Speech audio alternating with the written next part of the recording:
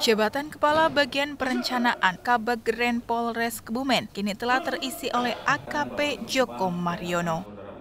Sebelumnya jabatan ini mengalami kekosongan karena pejabat sebelumnya yang diisi oleh Kompol Marif namun per tanggal 1 April 2024 memasuki masa pensiun.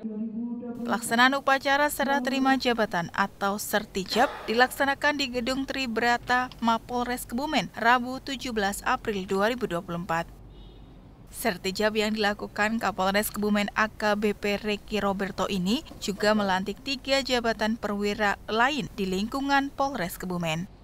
Jabatan lain tersebut yakni Kapolsek Kebumen diserahkan dari AKP Joko Mariono kepada Ibtu Iwayan Sukedana, mantan perwira urusan subbagian fasilitas dan konstruksi Paur Subag Faskon, bagian logistik Polres Kebumen, Kemudian jabatan Kapolsek Mirit diserahkan dari AKP Supriyo kepada Ibtu Purwito mantan Kepala Urusan Pembinaan dan Operasional Kaurbin Opsional Satintelkam Polres Kebumen dan jabatan Kapolsek Petanahan diserahkan kepada AKP Supriyo yang menggantikan pejabat lama AKP Sugeng Priyadi yang memasuki masa pensiun.